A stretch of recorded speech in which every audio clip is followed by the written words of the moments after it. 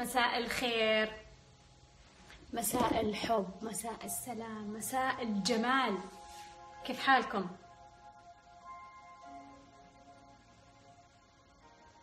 شكرا على القلوب واللايكات. شكرا جزيلا.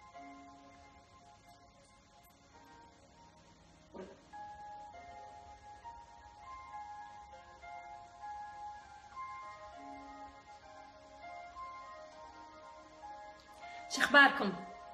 شو أخبار أهدافكم؟ كتبتوا الأهداف ما كتبتوا الأهداف؟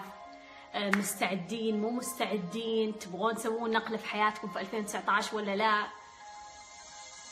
في جديد؟ في جديد؟ يعني جديد شيء شيء جيد يعني. اتخذتوا قرارات حطيتوا نوايا مسكتوا الورقة والقلم. اليوم نبغى نتكلم شوية عن 2019 واستعدادات 2019 والنقلة في 2019 وبعدين راح ناخذ قست إن شاء الله. تقول لك لا ما في جديد للأسف. الحياة خيارات الحياة خيارات. فيه ناس يعني جو في هذه الحياة ومشوا ويعني قاعدين يتفرجون على الناس الناجحين يتفرجون على الناس اللي حققوا أهدافهم يتفرجون على الأشخاص اللي حسنوا حياتهم ويقول شلون؟ تصدقون هذول محظوظين؟ ظروفهم غير هم ظروفهم أحسن. كلنا سوا. الفرق إنه في شخص نوى قرر فعل والشخص الثاني حاط يده على خده وقاعد يتفرج. للأسف للأسف ما في تغيير للأسف ما في أي شيء جديد في الحياة.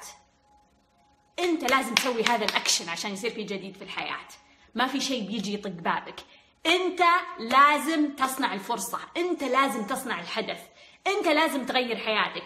ما في أحد بيجي يطق بابك ويغير حياتك. ما في أحد بيجي يمسك يدك ويغير حياتك. ما في أبدا أبدا. لا تتخيل مهما كان هذا الشخص يحبك وقريب منك. انت الشخص الوحيد اللي تقدر تصنع حياة جيدة. بس انتهى.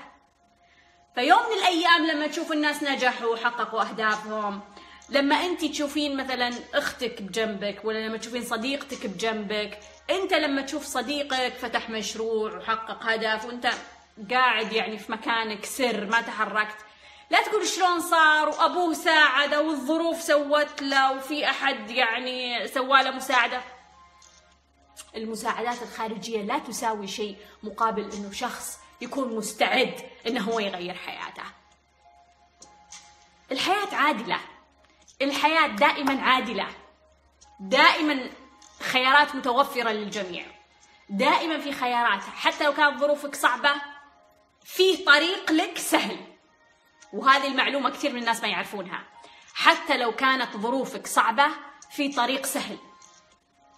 وفي كثير من الناس يعتقدون انه ظروفهم سهلة فهم متى ما قرروا كل شيء مفروش لهم بالورد لا لا.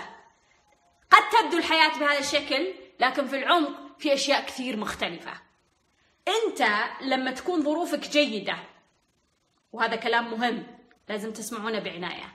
لما تكون ظروفك جيدة وكل شيء متوفر لك عشان أنت تسوي شيء ولا تسوي شيء معناها أنت قاعد تفقد هذه الطاقة اللي عندك.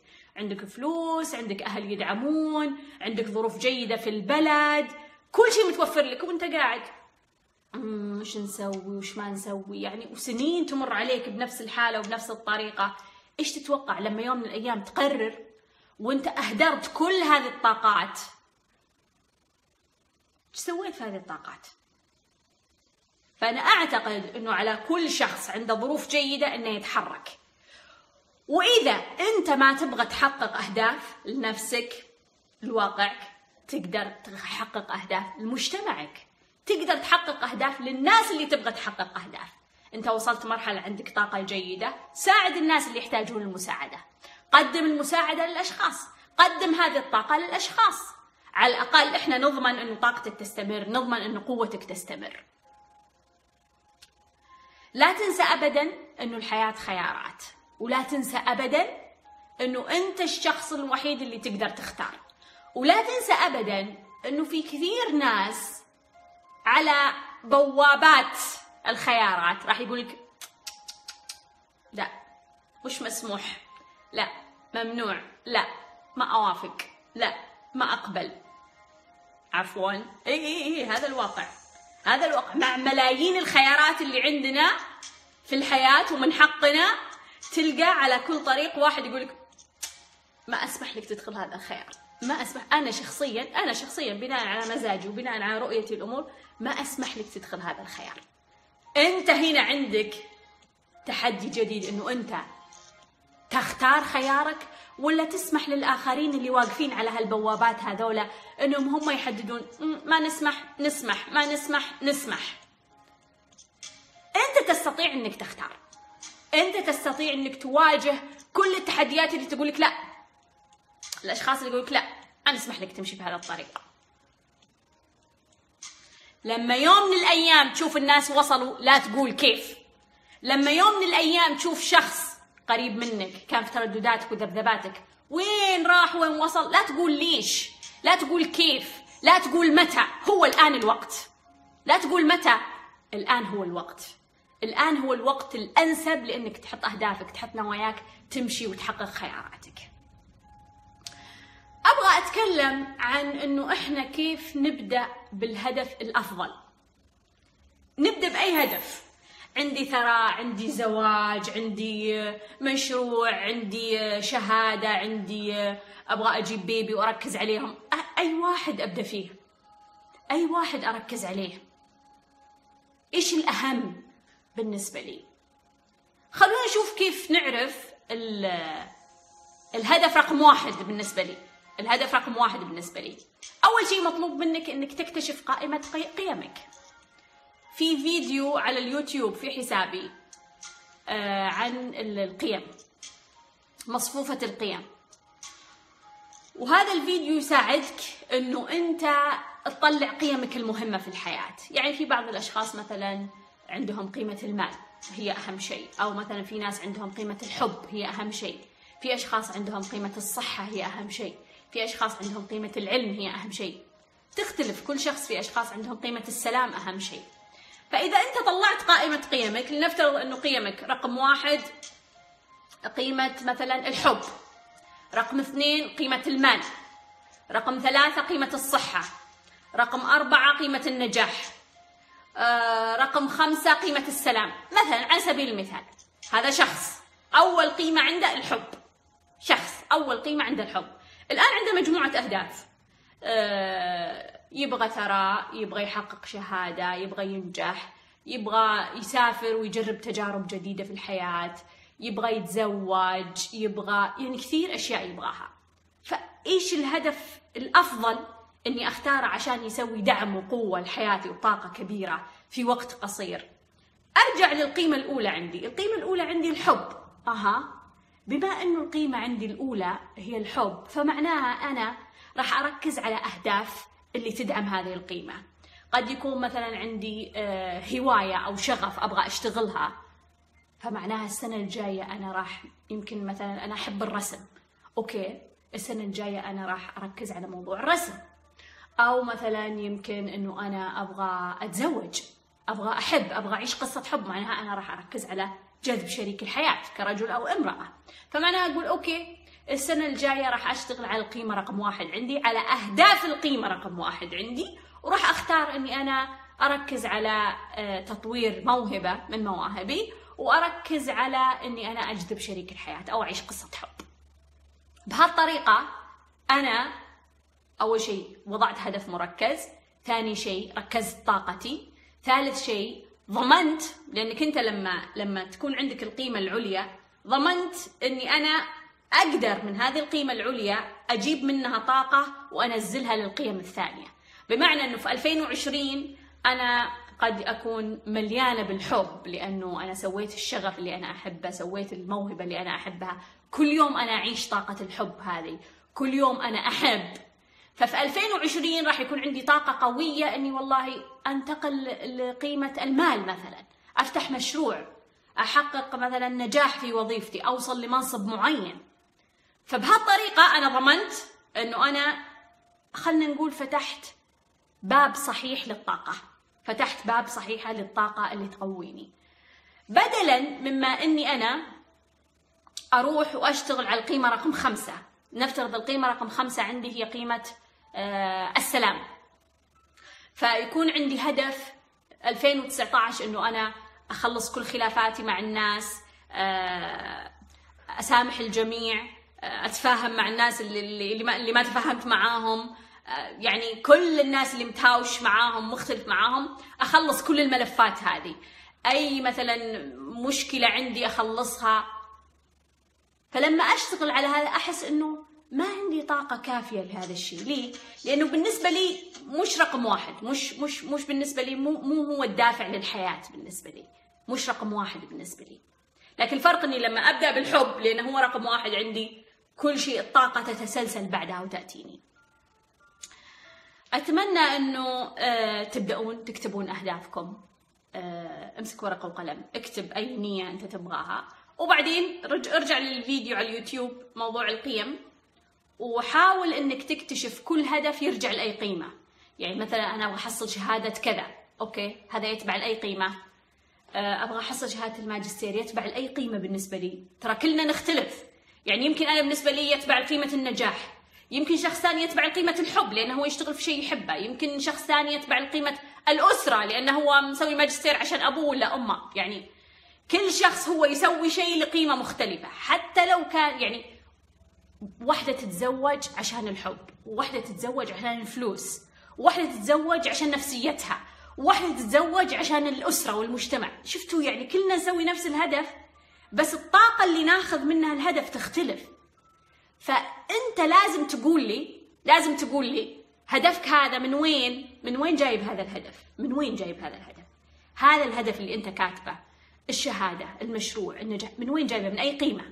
أي قيمة راح تصب فيه الموية هذا الهدف؟ أي قيمة راح ترويه؟ أي قيمة راح تساعده أنه يستمر أنه يحصل أنه أنه يتطور أنه ينمو أنه ينتشر أنه يتوسع؟ أي قيمة؟ فأنت اكتب أهدافك واكتب قيمك وبعدين سوي توصيل. تعرفون واجب التوصيل هذا؟ سوي توصيل يعني هذا الهدف لأي قيمة؟ هذا الهدف لأي قيمة؟ الشهادة لأي قيمة؟ okay. جذب شريك الحياة لأي قيمة بالنسبة لي؟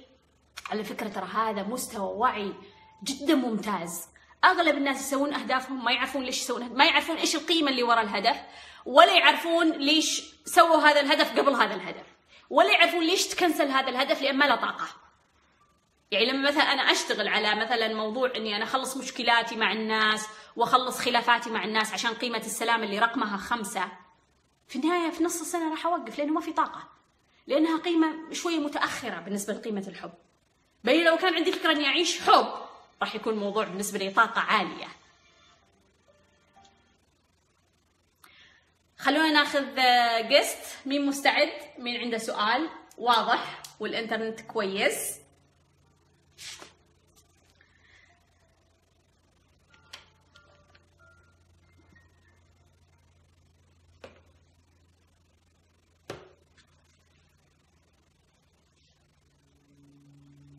حدد القيمة تحدد القيم اكتب القيم على جنب واكتب الأهداف على جنب وسوي توصيل. بس سوي توصيل إحنا راح نستمر نتكلم. راح راح نطبخ طبخة. إحنا راح نطبخ طبخة ونطلقها في رأس السنة إن شاء الله. وإن شاء الله إن شاء الله بإذن الله آه، أبغى أسوي لكم ورقة برضو تساعدكم على الموضوع وأرسل لكم إياها على الإيميل. بس يحتاج كم يوم أضبطها.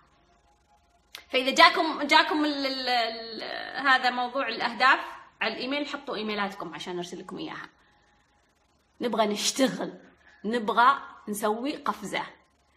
مين؟ مين جاهز؟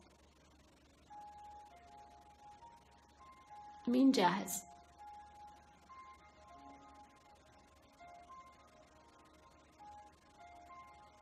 آه okay.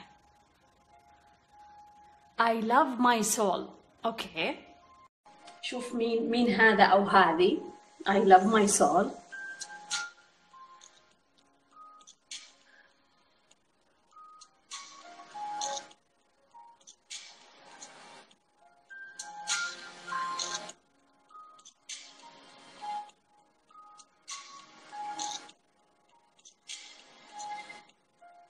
I love my soul. ما ما شبك. سوري أعتذر منك أو منك. ما أعرف ولد ولا بنت. طيب. كيف نرسل إيميلات؟ لما ينزل لكم الإعلان على إنستغرام آه، ستوري أو على سناب شات عبوا الإيميل. بس.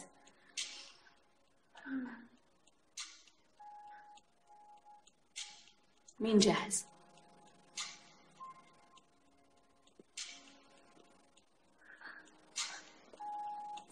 فرات. فرات. آه انقطع. مين مين مستعد.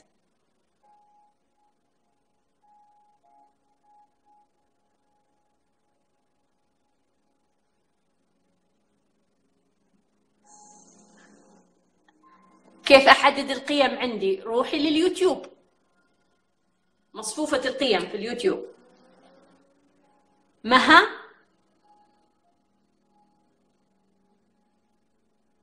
مها. أهلين دكتورة مرحبا كيفك؟ سهلة حبيبة قلبي. شرفتيني. عارفة اليوم أطلقت النية إنه أطلع معك بث. والله برافو. شرفتيني يا مها سمي. مجهزة الورقة شوفي. واو. جاهزة النية. يلا يلا أعطينا أسئلتك. طبعا دكتورة مشكلتي عندي مشكلتين. إيه. المشكلة الأولى شريك الحياة يعني أنا دخلت علاقات كثير قصص كثير بس لما صارت مع شريك الحياة واجهت صعوبات كثير. اللي هي وقت الخطبة وقت الملكة ما في اهتمام ما في احترام آه، مشاكل مستمرة. يعني ما تنتهي. ولسه يعني لسه ما ارتبطنا يعني الزواج يعني حقيقي لسه ما صار. إيش سؤالك؟ نقيضي دكتورة. يعني أنا مستغربة إنه ليش هو نقيضي؟ مم. يعني جدا نقيضي. يعني أنا صادقة هو كاذب. يعني أنا معطاءة. يعني أعطي مشاعر أعطي حب. مرة هو ما في أي اهتمام. مم. ممتاز. طيب خلينا نقول لك ليش. وش بعد؟ طيب السؤال الثاني عادي دكتورة أسألك. سمي طيب.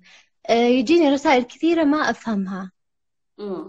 يعني من لما دخلتي حياتي ما صرت أقدر أمشي أي شيء عادي صار وانتهى. لا في رسالة بس ماني عارفة أفهمها. مم. مثلا يعني أواجه مثلا كذا شخص في الأسبوع يقول لي أنا شفت فيك منام أنا شفت فيك منام بس ماني فاهمة. مم. يعني إيش هي الرسالة من الأحلام؟ فهمتي علي دكتورة؟ أي أي. واضح يا مرة شكرا دكتورة. حبيبتي شرفتيني. حبيبة قلبي. طيب مها آه، يعني جربت كثير من العلاقات ويبدو إنها كان عندها علاقات ناجحة بس الآن جاء الموضوع جد جد و... والآن هي مخطوبة بس الموضوع مختلف. هي تقول في صعوبات جدا في في الخطبة يعني موضوع الاهتمام موضوع الاحترام هو يعني يكذب هي صادقة هو يعني ما يهتم هي معطاء أو مهتمة كثير. آه، يعني هي تسأل ليش هو نقيضي؟ إحنا تكلمنا أمس على موضوع الانعكاس. آه، تكلمنا إنه آه، شريك الحياة شريك الحياة يجب أن يكون انعكاس. طبعا كل تفاصيل هذا الموضوع ب... ب... يعني بعمق موجود في دورة دايزي الوعي الزواجي. لكن أنا بشرح لك إياها يا مها. فكرة شريك الحياة هو ليش أصلا موجود شريك الحياة؟ عشان إحنا نتطور. عشان إحنا نطور من أنفسنا. سواء كنا نطور من مشاعرنا أو نطور من مستوى وعينا. فلما يجيني شخص مثلي مطابق لأشيائي أو قيمي اللي أنا أؤمن فيها ما راح أتطور. يعني ما راح يكون في وسع في الدائرة حقتي. خلينا نفترض دائرتي كذا. فالمفروض إنه أنا يكون عندي شيء إضافي شيء جديد. فلما يكون مثلي ما في تطور. فلازم هو يعطيني شيء جديد. زين أو شين. بس شيء مختلف عن اللي موجود عندي. هنا دوري أنا أني أنا أخذ هذا المختلف وأسأل نفسي أنا إيش العلاقة ما بيني وبين هذا الشيء المختلف؟ جزء عندي راح يكون انعكاس أني أنا أعدل من الداخل أعدل من نفسي أعدل من حياتي أعدل من مشاعري. جزء راح يكون هي وفقا لقانون التوسع كيف نرفع مستوى وعينا. يمكن هذه ما سبق أني شرحتها في كورس لكن من المهم ان نعرف إنه كثير من تجارب الحياة. أنت لما توصل مثلا خلينا نقول لحافة جبل الحياة راح تعطيك حافة ثانية. أنت لما توصل لحافة جبل الحياة راح تعطيك حافة ثانية. لكن أنت لازم توصل للحافة. إذا كنت تستمر في هذه الحياة بس في خيار أنت توصل الحافه وتخلص الموضوع. فاذا إحنا نبغى نشوف اللي صاير معاك هو انعكاس واضح. إنه أنت هو يعني يكذب وأنت صادقة أنت معطاءه وهو مش معطاء. ولا تنسين إنه عندنا تحدي كبير في موضوع الأنوثة والذكورة. لما إحنا نتزوج كأنثى تأخذ لها ذكر راح يكون عندها نسبة أعلى من الذكورة تدخل على حياتها. فهذه راح تربكها. الطاقات هذه في البداية تربك. المرأة اللي تكون أو الرجل اللي يكون عندهم توازن في طاقة الأنوثة والذكورة راح يكون ارتباكهم أقل. واللي لا اللي عندهم فارق كبير ما بين الأنوثة والذكورة راح يكون ارتفاع ارتباكهم عالي وبالتالي راح تكون رسالتهم مرتبطة بموضوع الذكورة والأنوثة. ويمكن بعضكم حضر دورة الوعي الأنثوي إنه الهدف من هذه الرسالة إنه إحنا نتوازن في الداخل. نتوازن بحيث إن إحنا نكون ذكور وإناث. إنه أنت موجود في جسد رجل بس أنت جزء منك أنثى ولا لو لم يكن لما استطعت إنك تخلق. لو لم يكن ما استطعت إنك تخلق ما استطعت إنك توصل لمرحلة إنك تنجز أهدافك تحقق أهدافك تقدر تتزوج تقدر تعيش مع هذه الزوجة أو هذه المرأة. تقدر تجيب بيبي كثير أشياء كثير أشياء ما تقدر تسويها. وبالتالي عندك أكثر من تحدي يا مها عندك تحدي في موضوع إنك تشوفين انعكاسات وتعدلينها عندك تحدي في موضوع الوعي عندك تحدي في موضوع الأنوثة والذكورة. انت ما سألتيني أستمر ولا ما أستمر. يعجبني إنه انت يعني متحمسة إنك تخوضين هذه التجربة متحمسة إنك تعدلين وتبدلين وتصلحين وتغيرين. مها أنا أعتقد إنك تحتاجين تشتغلين على نفسك. بالنسبة لي هذا ما في أدنى شك. تحتاجين تشتغلين على نفسك. التجارب تجارب الحب قبل الزواج لا يمكن ابدا مقارنتها بالزواج. لا يمكن يعني يعني لا يمكن يعني هذه مقارنة ظالمه في فكره الزواج. الزواج يعني أنت تحط رجلك على أرض الواقع وتخلص الكيمياء والمخدرات الوردية اللي حاطتك في البابل الوردي. وتعيش يعني حياة حقيقية وتكون إنسان حقيقي ويعني تطلع اللي جواتك مفروش على الأرض وتتطور بشكل حقيقي وتعايش الحياة بشكل حقيقي. فأنا أعتقد أن عندك تحدي لازم تشتغلين على نفسك لازم تطورين من نفسك. سؤالك الثاني إنه يجيني رسائل ما أفهمها. أه وإنه انت بعد ما بديتي تتابعين صرت تهتمين بموضوع الرسائل تلاحظين وتنتبهين إحنا ما نتوقع من الشخص إنه مجرد ما يعرف موضوع الرسائل على طول يفهمها. ما نتوقع. يعني ما نتوقع شخص عايش في ضياع وفي لا وعي ونايم في العسل ولا يدري عن الدنيا ولا يدري عن الحياة ولا طور من نفسه فجأة يقولون له ترى في رسائل كونية. ترى الكون يتخاطب معك. ترى لما تجي رسالة لازم تفهمها عشان تطور حياتك وتقفز و شلون يفهم؟ شلون يفهم؟ يعني أنت كيف تتوقعين إنك تفهمين؟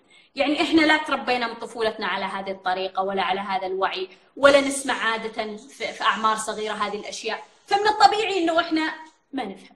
من الطبيعي إنه إحنا ما نفهم. لكن عندنا دائما خيار إن نطور أنفسنا نطور من أدواتنا نطور من طريقتنا نطور من زاويتنا نطور من رؤيتنا نطور من الصندوق اللي إحنا فيه. نوسع الصندوق على الأقل. بدل ما إحنا في صندوق قد كذا أوكي خلينا ناخذ الصندوق الأكبر. ما يحتاج نكسر كل الصناديق بس أنا في هالصندوق خلي ياخذ الصندوق الأكبر؟ أوسع. يعني أقدر أتنفس أقدر يعني أعيش حياة أفضل.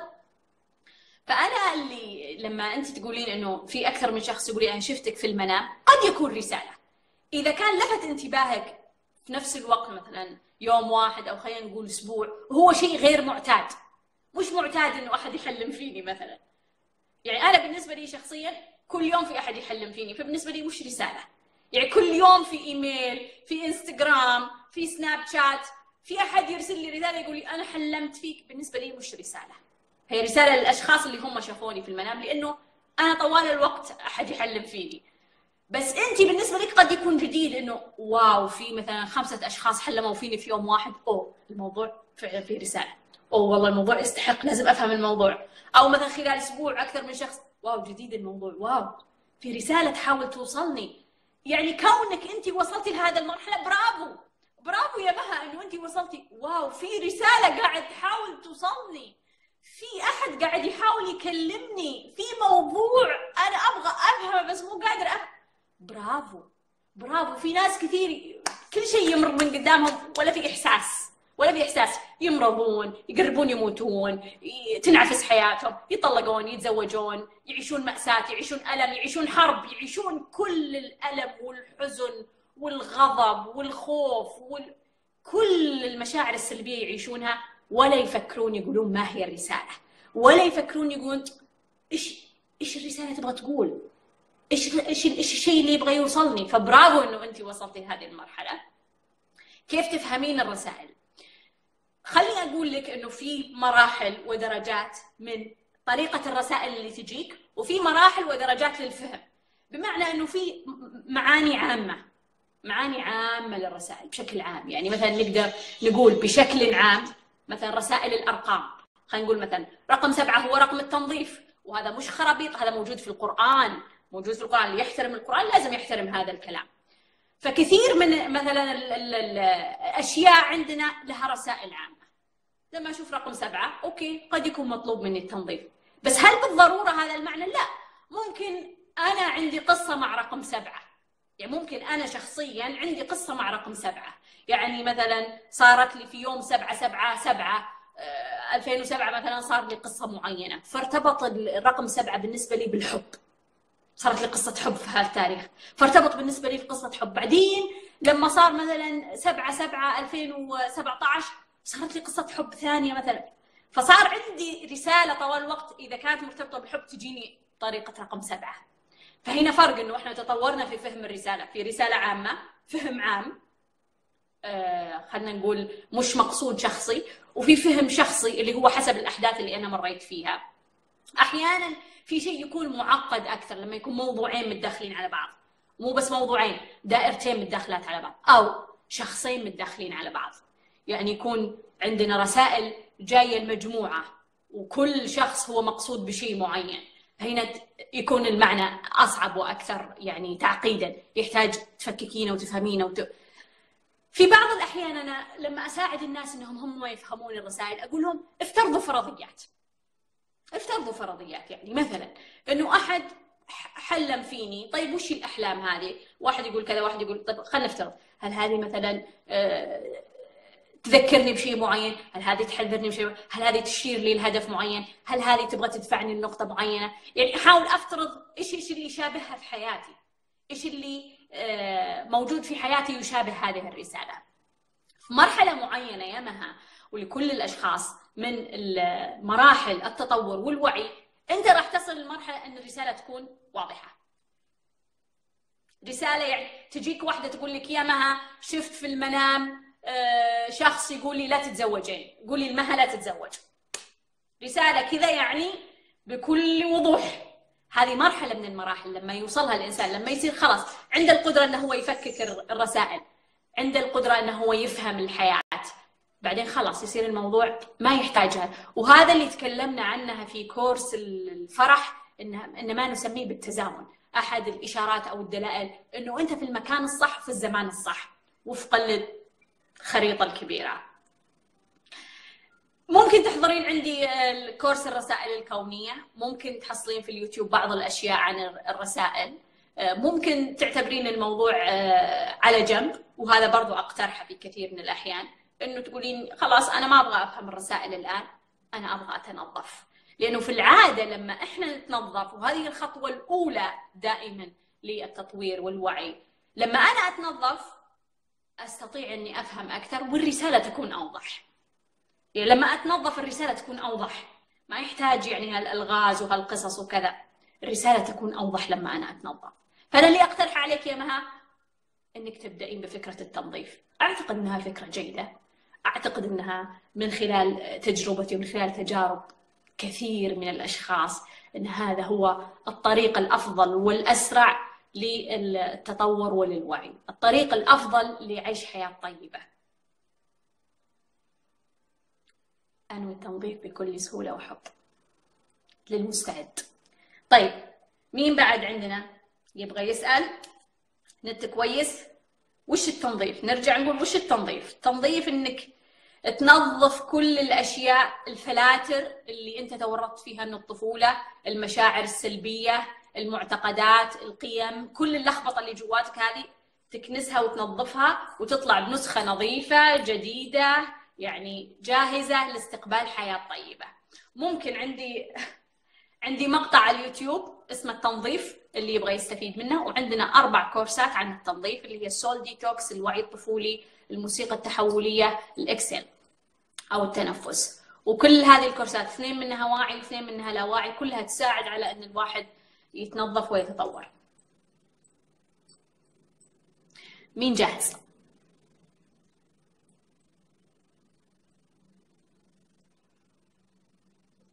ريم؟ ريم.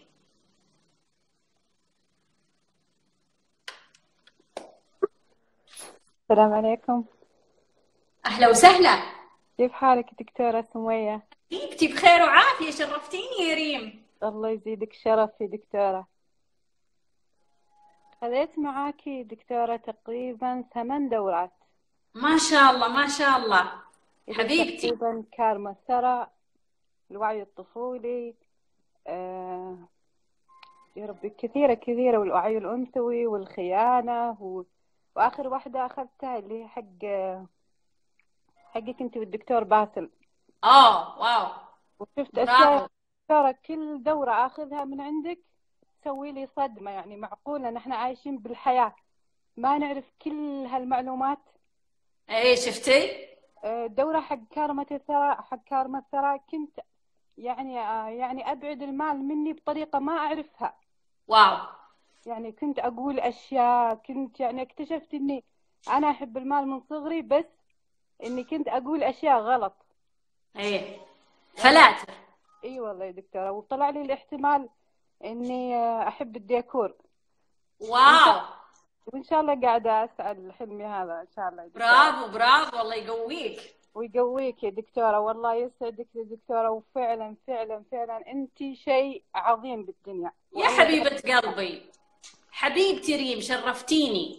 عندك سؤال ولا بس مكلمة إي نعم دكتورة عندي إيه، سؤال. يلا سمي دكتورة وش رسالة محبة الناس لنا؟ تيسير الأمور يعني وين ما أروح يعني ألقى أشخاص يسهلوا لي الحياة. إيه.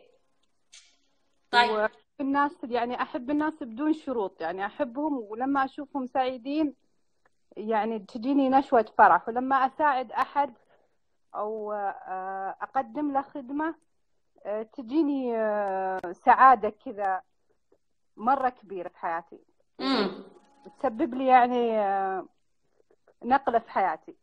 امم والسؤال الثاني دكتورة وسامحين يعني لو طولت عليك. وش أهلا وسهلا. آه، وش رسالة تعلق الأشخاص فينا؟ تعلق الأشخاص؟ أيوة. فيك. يعني زوجي مرة متعلق فيني يعني مرة يعني. مم. يعني أنا ما مو حابة التعلق. مم. أقول لك يا ريم.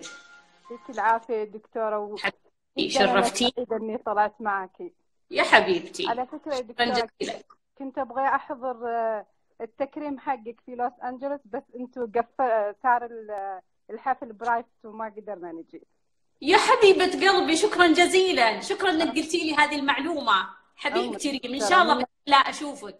بإذن شاء الله. الله بإذن الله. من نجاح النجاح يا دكتورة ويعطيك العافية. حبيبتي يا حبيبتي شرفتيني. حبيبة قلبي. آه ريم غير ريم ريم غير يا جماعة. ريم في عالم آخر ترى ها؟ أوه. يعني ريم تتكلم ما هي آه، رسالة آه، تسهيل الأمور والمحبة. إذا أنت تبغينها من من جانب الكارما فهي كارمتك ترتد عليك. آه، يعني ما ترسله يعود إليك فأنت ترسلين الحب طوال الوقت ترسلين المساعدة فلما تحتاجينها على طول يعني زي يقول خزانك مليان. على طول يرتد عليك هذا الحب ويرتد عليك هذا هذا الخير وهذه المساعدة وهذا التسهيل اللي أنت تقدمينه للناس. ممكن تشوفينه أحيانا من زاوية ثانية أو رسالة من زاوية أخرى اللي هو حب الذات. يعني لما يصل الإنسان لمرحلة التصالح ومرحلة آه، إنه هو أعطى أعطى روحه الأشياء اللي هو يبغاها أو الأشياء اللي هي تبغاها. فالروح آه، تقاتل إنها تعيش قيمها. فلما أنا أعطيها قيمها تعيش بطريقة صحية طيبة فهي على طول تعطيني على أرض الواقع. لأن انعكاس الداخلي يكون في الخارج على أرض الواقع أنها آه، تتحقق هذه الأشياء. آه، تشوف القيمة اللي هي اللي هي موجودة في هذه الروح وحققتها ووصلت لها تشوفها على أرض الواقع من المحبة والتسهيل والتيسير. بالنسبة لرسائل تعلق الأشخاص فيك يعني طيب هذا موضوع آه، مهم صراحة ما سبق أني تكلمت فيه. في كثير من الأحيان ما ما نتكلم عن بعض الموضوعات لأنها ما يكون في شخص اهتم أو ما يكون في شخص سأل أو ما يكون في ناس مركزين على هذا الموضوع. بس بما أنه ريم سألت نبغى نتكلم عن هذا الموضوع. الأشخاص في هذه الأرض في هذه الحياة هم آه، موجودين إما آه، إما هم مصدر طاقي أو هم يحتاجون لمصادر طاقية. إما هم مصدر طاقي بذاتهم أو هم يحتاجون إلى مصادر طاقية. فإحنا لما نكون أطفال نكون عندنا أمنا أو أبونا أو يمكن أختنا الكبيرة أو أخونا الكبير أو يمكن خالتنا الكبيرة يعني أي أحد يكون هو مصدرنا الطاقي هو مصدر القوة بالنسبة لنا مصدر الحياة. نقدر نعيش لأنه هو موجود. حرفيا نقدر نعيش لأنه هو موجود.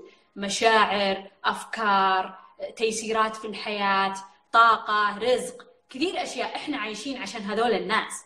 إحنا عايشين لأنهم هم أقوياء. إحنا عايشين يعني لما كنت طفلة أنا عايشة لأنه أبوي قوي لأنه موجود لأنه يقدر يوكلني ويشربني لأنه يقدر يشعرني بمشاعر جيدة لأنه يحسسني بالأمان. هو مصدر طاقة. فكل الأطفال عندهم مصادر طاقية. لما يكبرون أغلب الناس تستمر في هذه الطريقة. أغلب الناس تستمر تبحث عن المصادر الطاقية. أم أب أخ أخت زوج زوجة صديق صديقة. كثير من الناس لما يكونون آه، يصلون لمراحل معينة آه، ممكن يختارون الأصدقاء كمصادر الطاقية لهم. آه، يمكن سبق كنتوا معاي لما واحدة من البنات كلمت كانت في عمر صغير أظن 17 سنة وكانت متأثرة جدا ليش إنها اختلفت هي وصديقتها وصديقتها تركتها. صديقتها تركتها. تركتها يعني يا جماعة إذا كان هذا مصدر طاقي يعني يعني كأني أنا شقيت نصين. ما حد يقدر يتخيل شعور قد إيش إنه أنت تنفصل من مصدرك الطاقي. ما حد يقدر يتخيل شعور إنه مثلا أنا زوجي مصدر الطاقي بعدين أتطلق. أو أو مثلا أمي أو أبوي بعدين يموتون أو مثلا صديقتي بعدين أنا أختلف معاها هذا شعور مؤلم مؤلم. الروح تتألم لما تمر بهذه المرحلة. ليه؟ لأنه على كل المستويات المستوى المادي المشاعر الفكري الطاقي الروحي كل المستويات كل أجساد هذا الإنسان تتغذى على هذا المصدر الطاقي. والجيد إنه المصدر الطاقي يكون مستعد وقابل لهذا الشيء لأن هذا دوره. لأن هذا دوره في الحياة. هو قاعد يعطي هذه الطاقة. هو عنده طاقة كثيرة. فقاعد يدفع هذه الطاقة لكثير من الأشخاص اللي يحتاجونها. فلما إحنا نوصل لمرحلة معينة من الوعي في الغالب إحنا راح نفكك المصادر الطاقية اللي إحنا متصلين فيها. قد يكون بعنف في مرحلة من المراحل قد يكون بحب. إنه خلاص إنه أنا طاقتي جيدة ما أحتاج. لما أصل هالمرحلة إنه أنا مصدر طاقي بحالي أنا مصدر طاقي بحالي وش بتسوي هذه الطاقة؟ وش بتسوي بهذه الطاقة؟ طاقتك كبيرة واسعة ممتدة، وش بتسوي بهذه الطاقة؟ في كثير من الأشخاص أنانيين يقعدون هم وطاقتهم يعني يتفرجون على أنفسهم وهم يستعدون للموت بهذه الطريقة. لكن اللي حصل مع ريم ولاحظته تقول لك زوجي متعلق فيني. زوجك عايش على طاقتك. قد يكون ماديا، مشاعريا، فكريا، طاقيا، روحيا. إيش المشكلة؟ إيش المشكلة يا ريم؟ إيش المشكلة يا ريم أنا أعتقد إنه أنت عندك خيار إما إنك تقبلين لأن هذا دور أتمنى إنك أنت حضرتي كورس الفرح إما إنك تقبلين إنه هو يأخذ منك هاي الطاقة ولا راح يضرك ما راح يضرك ولا راح يأثر عليك ولا راح يستنزف من طاقتك. لأنه أنت آه، عندك طاقة إضافية عندك بط- بطارية عندك بطاريات. يعني أنت بطارية واحدة قاعدة تشحنك وعندك 20 بطارية. إيش المشكلة إنه بطارياتك يعني تشبكين فيها؟ يعني زوجك وعيالك وجيرانكم و و يعني ما شاء الله عليك. أنت بعد كنتي بتحضرين الحفل اللي أنا تكرمت فيه يعني يعني حتى توصليني بطاقتك. فاللي أنا أقول أنت عندك خيار إنك تقبلين وتفرحين بهذا الشيء. ال- المستوى معين من الوعي ما يتقبل هذا الشيء.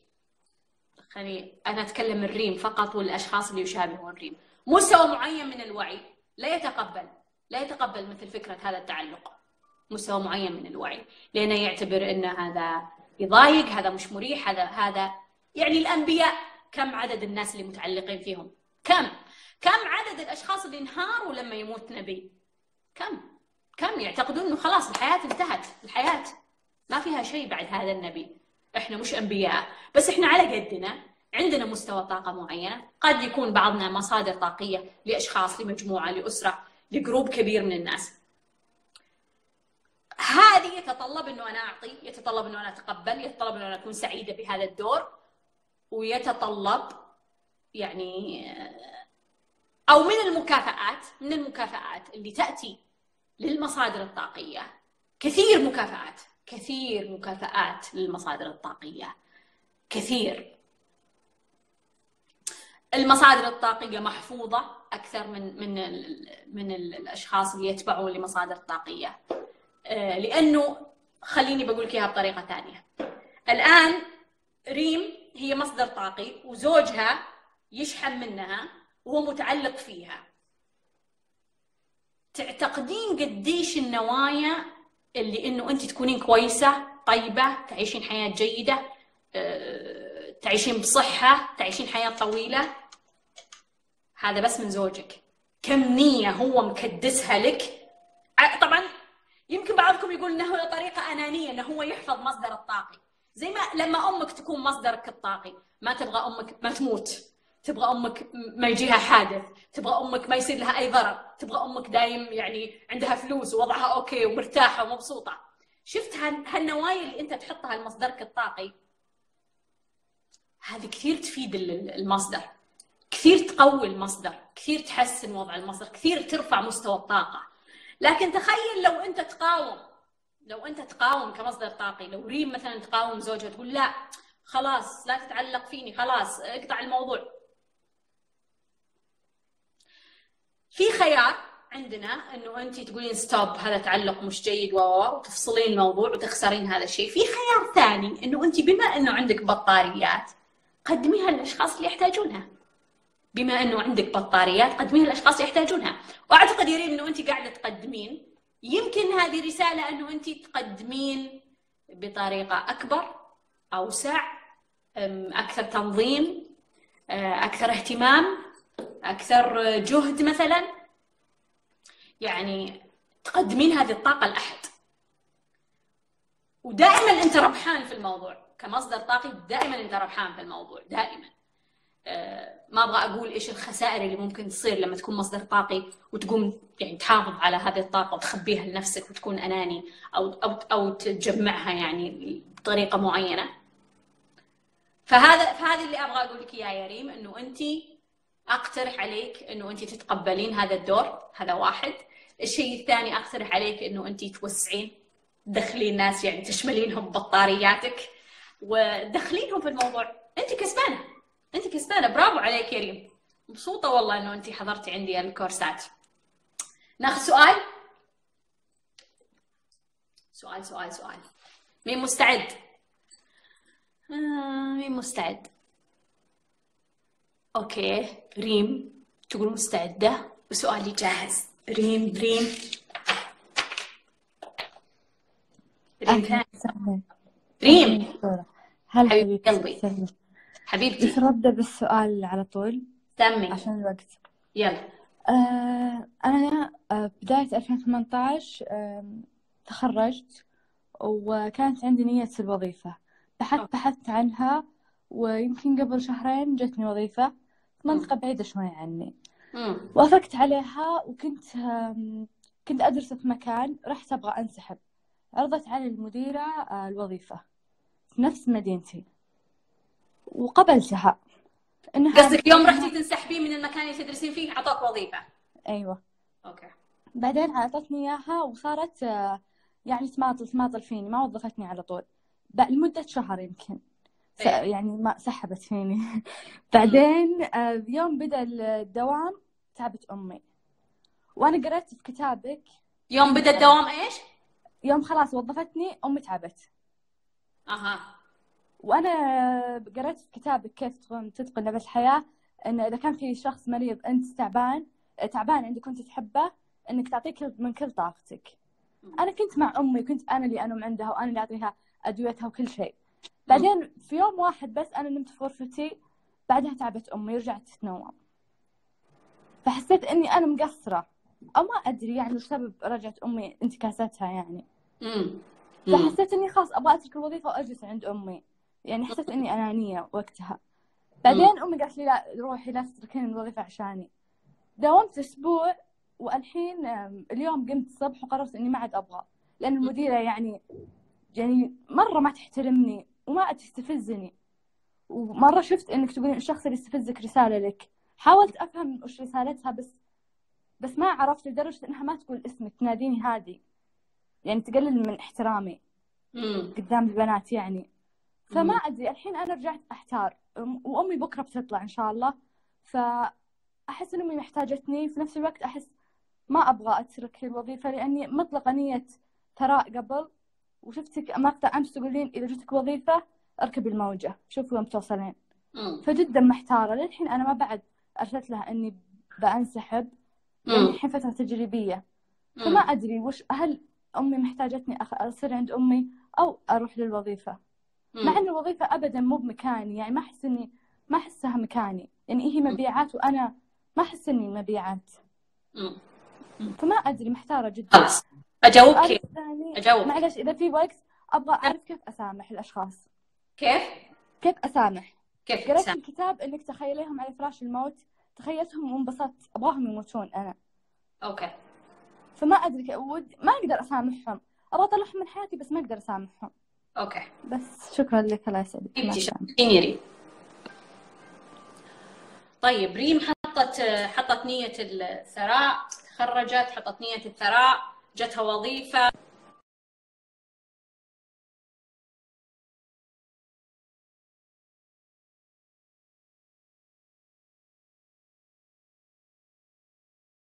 معاي ولا علق؟ معاي ولا مو معاي؟ بس أعطوني خبر.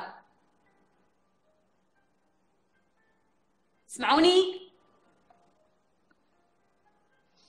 أوكي. شوق تقول معك يكفي شوق. طيب تقول لك تخرجت حطت نية الثراء جتها وظيفة بعيدة قبلت فيها آه، لما جت قبلت بالوظيفه اللي في مكان بعيد فلما قالت للمكان اللي هي تدرس فيه قالوا إحنا نعطيك وظيفة. آه، ما طلوا فيها شهر بعدين أعطوها. لما توظفت أمها تعبت. آه، قامت توقف معها آه، وانتكست الأم.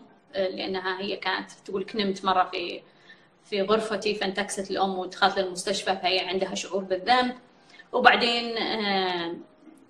يعني الآن تشعر أنه هذه المديرة ما تحترمها وتستفزها وهي محتارة أنها تترك وظيفتها أو ما تترك وظيفتها. أه خليني أبغى أقول لك يا ريم. أول شيء أنا أبغى أقول لك برافو برافو برافو برافو يعني برافو أنه أنت جت الوظيفة وقبلتي فيها. برافو. لأنه أغلب الأشخاص اللي يعيشون في خلينا نقول في دول وضعها الاقتصادي جيد آه، يتشرطون وهذا طبعا على المدى الطويل راح يضرهم وفي الغالب راح يأجل أو يأخر آه، درجة الثراء اللي هم يبغون يصلون لها. آه، فأنا كثير سعيدة أنه أسمع منك أنه كان عندك وظيفة في مكان بعيد وقلتي يس وعلى طول أنت شفتي الرد. على طول أنت شفتي. على طول شفتي أنه على طول جتك وظيفة في نفس المكان. صار في مماطلة بس حصلتي الوظيفة بعدين رضت أمك. تقولي أنه أنت قرأتي في الكتاب أنه إذا في شخص مريض يحتاج آه، طاقتك فركز عليه. أنا أؤمن نعم بهذه الفكرة. أؤمن إذا في شخص من العائلة خصوصا من العائلة مريض يحتاج منك اهتمام وانتباه يحتاج طاقتك. أعطى كل اهتمامك وانتباهك. فما بالك لما يكون مثلا أحد الوالدين؟ أعتقد إنه إنه هذا دورنا إن إحنا أعتقد إنه هذا هو بر الوالدين إنه لما يحتاجونك يلقونك أنت موجود. يعني يمكن أنت في الأيام العادية مش مهم. طاقتك مش مهمة بالنسبة لهم بس هذا هو الوقت اللي يحتاجونه. فأنت تقولين الآن المديره ما تحترمني ولا كذا وعندي أمي فهل أترك الوظيفة؟ فكأنك تقولين إنه في أكثر من سبب يخليني أترك الوظيفة. أبغى أقول لك شيء يعني. موضوع إنها الاحترام والاستفزاز و و هذا موضوع لازم تعالجينه. لازم تحلين هذا الموضوع. وأعتقد المماطلة اللي جت لمدة شهر هذه برضو فيها رسالة. رسالة إنه انت إيش شعورك لما واحد هو يعني ما يحترمك أو أو أو ما يعطيك قدرك؟ قد يكون عندنا رسالة مرتبطة بالإيجو قد يكون عندنا رسالة مرتبطة بالإبداع. وأنا اؤمن إنه في كثير من الأحيان خصوصا خصوصا خصوصا في الثراء تكون في رسائل إبداع كثير خصوصا في الثراء لأنه في كثير من الأحيان الثراء ما يجي الا بالابداع لما نتكلم عن هذا الزمن اللي كل شيء متوفر وكل شيء سهل وكل شيء ممكن نقول ليش ما كل الأشخاص قاعدين يكونون أثرياء؟ لا لأنه كثير من الأشخاص يفتقدون الإبداع. فهنا يجي دور إنه أنا كيف أكون أكثر إبداع مع هذه المديرة؟ إني أنا أكسبها إني أنا أسوي شغل جيد إني أنا اوصل لها إنه أنا شخص جيد ومهم إنه أنا شخص مهتم بهذه الوظيفة. فعندي زاويتين أبغاك تركزين عليهم زاوية الإيجو وزاوية الإبداع. إذا انت طلعتي من هذه الرسائل فهي هروب. فانت لازم تقعدين مع نفسك وتسألين مع تسألين نفسك بصدق. يا ريم هل أنا أترك هذه الوظيفة لأجل إني أهرب من الرسائل؟ ولا هل أنا أترك الوظيفة لأجل إني أنا أعطي أمي طاقتي؟ لازم تكونين صادقة وصريحة وواضحة. وقفي قدام المرايه وقولي لا تتهربين يا ريم ما في أحد يسمع ما في أحد يقيم. خليكي حقيقية مع نفسك بليز خليك حقيقية لأن هذه خطوة مهمة جدا في حياتك. في جانب الثراء وفي جانب كونك مصدر طاقة مستقبلا. إذا هذا أنت فعلا تبغينه. هل أنا أترك وظيفتي لأني أهرب من رسائلي؟ لأني ما عندي استعداد أحد يحتقرني. ما عندي استعداد أتحمل أحد يقلل من أدبه. ما عندي استعداد تستفزني تناديني بغير اسمي؟ لا. هل أنا أهرب من رسائلي؟ أو أنا فعلا وظيفتي جيدة لكن أمي أهم وتحتاج طاقتي الآن. جاوبي وخليك حقيقية وافهمي بالضبط الموضوع. بالنسبة لي الإيجو يمكن يبغى له شوية دعك يبغى له شوية يعني لما تقولين هذا مو مكاني وأنا مش مبيعات والمديرة يعني تحتقرني وما تهتم تناديني بهالطريقة. okay. وش المشكلة إذا حد ناداني بهالاسم؟ وش المشكلة إذا حد كلمني بهذه الطريقة؟ it's okay okay. أنا في أول السلم. ما في مشكلة.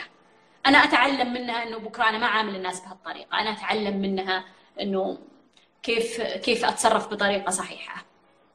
فخلينا خلينا نركز على هذه الزاوية. وخلينا نفكر كيف نكون أكثر ابداعا. إذا أنت تهربين من الوظيفة وتهربين من رسائلك لا تتركينها. إذا أنت تتركين الوظيفه لأنه أمك تحتاجك بس انت ابدا ابدا ما اثر عليك موضوع الاحترام وموضوع كل اللخبطة هذه والاستفزاز. أوكي روحي لأمك. آه، بالنسبة للموضوع كيف أسامح تقول إنك قرأتي في الكتاب إنه تشوفيهم على فراش الموت وإنك أنت يعني كثير انبسطتي يعني. آه، بالنسبة لي هذه صدمة. سوري يا ريم بس بكون حقيقية معاك لأنه هذا دوري. هذا دوري إني أنا أكون حقيقية وأجيب بشكل حقيقي. بالنسبة لي إنه انت تشوفين شخص يموت وتقولين أحسن يستاهل آه، صدمة بالنسبة لي. فاللي أبغى أقول لك إياه عشان أساعدك آه، وأنا أعتقد إنه انت آه، ذكية وتفهمين بناء على تجربتك لما تخرجتي حطيتي نية وبعدين ركضتي ورا الوظيفة. أعتقد إنك بنت ذكية. اللي أقترح عليك إنه تنظفين. اللي أقترح عليك إنه انت تسوين تنظيفات.